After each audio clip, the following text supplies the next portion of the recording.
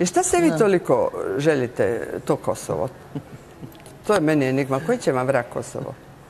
Mislim, Kosova nema. Kosovo nikad neće biti Srbija. Kosovo je Amerika. I koje su vaše Dobro, šanse? a kako da vam objasnim? To je samo gubljenje vremena. To- Što će Hrvatskoj Dalmacija ako je uvek bila italijanska? Ali Hrvatska više nema, razumijete? kao- Hrvatska nema, ni, a Hrvatska nema Dalmaciju. Pa nije Ako, možda... ja znam da nema. Ako su svi hoteli od nekog Andabaka, Bandabaka, e, Grosmana, e, da ne kažem Rusa, Turaka, Grka, gdje je tu Dalmacija? Ako su koncesije na svim plažama, tko zna čije?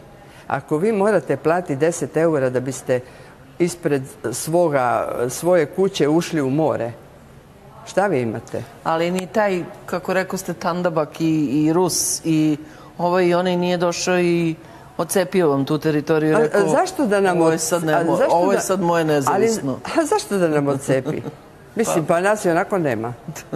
Razumijete? Da, Forma ste, je nebitna. Rekli ste na jednom mjestu da e, Hrvati imaju trenutno najbolji odgovor na politiku Evropske unije i toga što su, što su postali članica, a to je masovni odlazak. Oni imaju najbolji odgovor na politiku hrvatske vlasti. To. Jer da je ta hrvatska vlast, e, recimo uz nadljudske napore, bila koliko toliko poštena, a mogla je biti, Koja bi to bila?